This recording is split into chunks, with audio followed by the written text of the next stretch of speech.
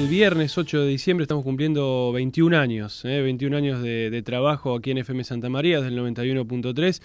Eh, un 8 de diciembre se inauguró por primera vez allá por 1996 y bueno, como todos los años tratamos de festejarlo, vamos a eh, oficiar una misa en acción de gracias a las 8 de la mañana en la Catedral Santa Florentina, que obviamente la vamos a transmitir en vivo y en directo a través de, la radio. Eh, y después nos vamos a juntar eh, todos los amigos de la radio, mm, allegados, este, oyentes también que quieran participar en una transmisión especial de 9 a 12 de la mañana en vivo, como siempre lo hacemos eh, aquí en, FM Santa María, un poco más distendido de lo habitual y este, además, este, por supuesto, recibiendo los, saludos y este, la, compañía de los amigos que están todos los años, eh, cumpliendo un año más, ¿no? en este caso 21 años. Cada vez que uno cumple años o tiene un aniversario, eh, la verdad que es importante es importante mantener eh, eh, tanto tiempo una estructura como es la radio, con la calidad que, tratamos de hacerlo, con el profesionalismo que tratamos de hacer, con el respeto,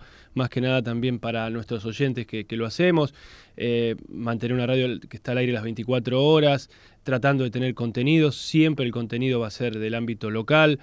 Eh, también recordando y, resaltando el, apoyo que siempre recibimos del Obispado de Zárate Campana, porque hay que recordar que esta radio es del Obispado de Zárate Campana y a través de nuestro mensaje plural, abierto, tratamos de, llegar, de acompañar a la gente que lo necesita, de estar informando todo lo pasa en, nuestra iglesia diocesana, en nuestra iglesia particular también, de una manera tal vez distinta, un poco más este, coloquial,